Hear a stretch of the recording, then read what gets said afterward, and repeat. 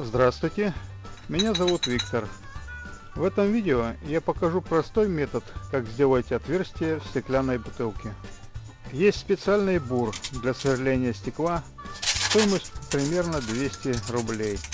Вам нужно сильно обмотать бутылку скотчем, тогда на бутылке не появится трещина.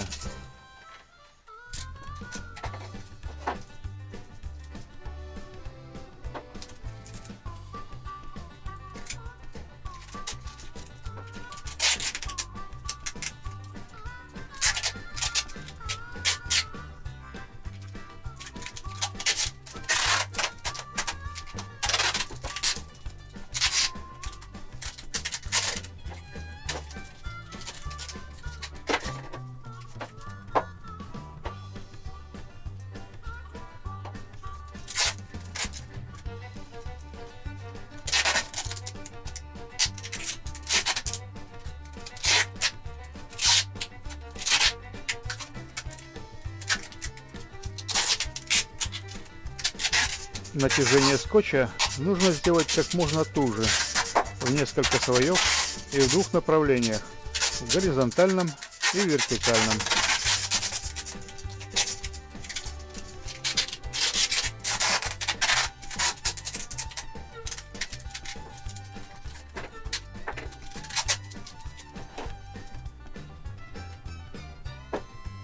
Наконец я закончил обматывать бутылки. Теперь я начинаю сверлить отверстие в бутылке. Это недолгая работа. Буквально несколько секунд. Чтобы было вам видно, я даже поставлю часы, и вы сможете следить прошедшее время по секундной стрелке. Вначале получился конфуз, часы неожиданно стали. Но потом от тряски контакт восстановился. Прошу прощения за мою неловкость.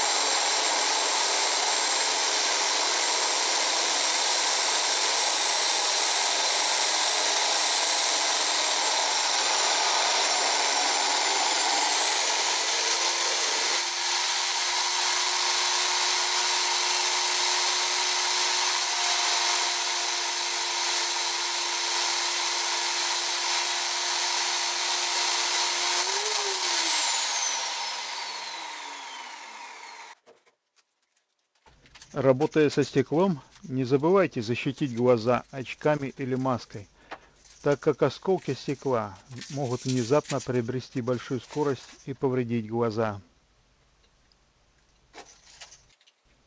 Итак, отверстия готовы, и я должен снять скотч.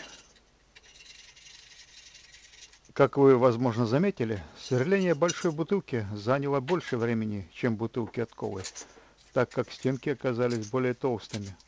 Поэтому я ненадолго прерывался сверлить, чтобы бур и стекло немного остыли, и моя работа не была бы испорчена трещиной.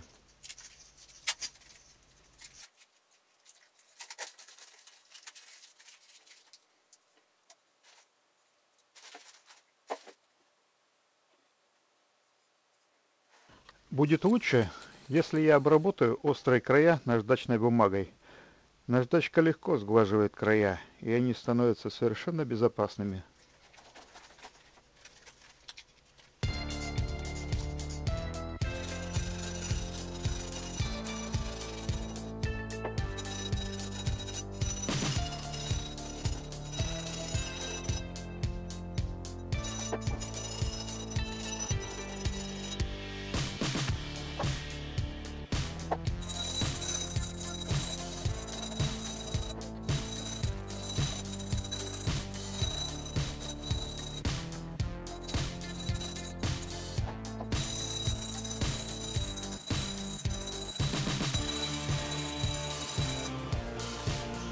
Я не профессиональный художник.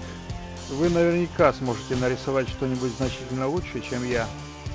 Или вы сможете сделать что-нибудь с помощью компьютера. И вообще, можно ничего не рисовать, так как само наличие отверстия бутылки это уже годится в качестве сувенира или некого полезного предмета, который я хотел бы сделать у меня получилось некое подобие идола американских индейцев.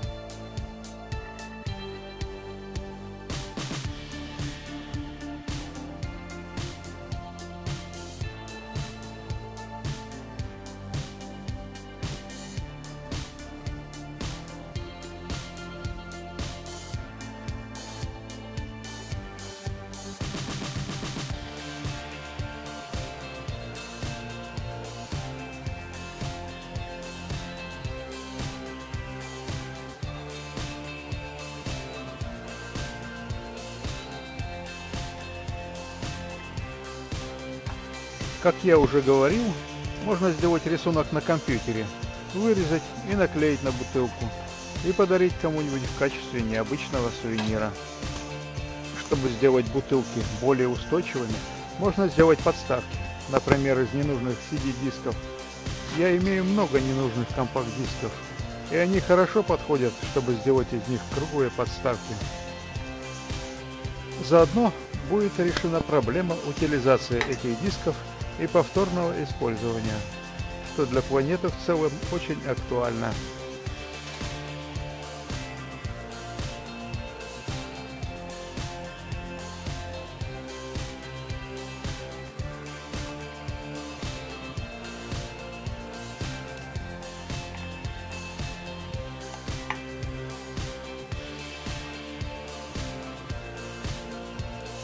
На этом все.